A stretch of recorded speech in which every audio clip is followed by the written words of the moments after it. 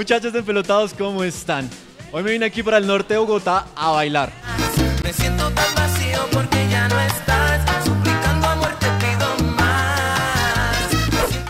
No, tal vez a bailar, no, me vine, fui a pelear. Round one. Fight! ¿A pelear? Sí, no, no, no, tampoco es a pelear. Mejor dicho, ¿qué estoy haciendo aquí? Jairo, ¿qué estoy haciendo acá?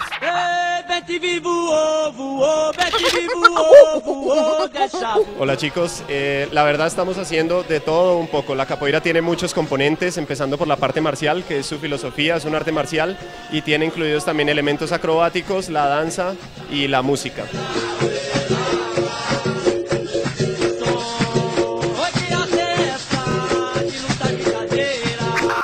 Bueno, la capoeira surge de los movimientos de liberación africanos de los esclavos que fueron traídos acá por las colonias europeas y específicamente se da en el área del Brasil.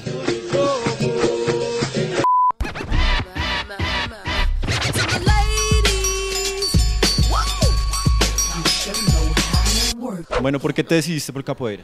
Sinceramente capoeira tiene muchas cosas que me llenan, la música, el arte, la acrobacia, las personas, sobre todo cuando hay una unidad que tú puedes viajar a cualquier lugar y te encuentras con muchas personas y sientes toda esa energía que te van a brindar las personas.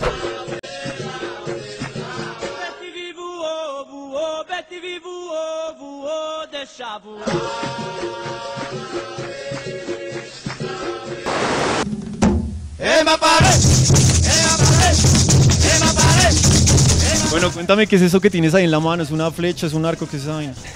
No, es un birimbao, es el instrumento típico de la capoeira. Este es el que comanda las acciones del deporte. Me suena muy hindú, ¿no? Más o menos, pero no, es brasilero.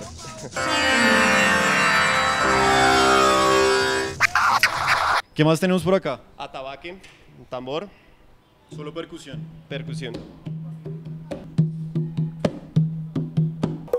Bueno, mucho instrumento raro, pero vamos a ver cómo suena todo junto. Bueno muchachos, música pues.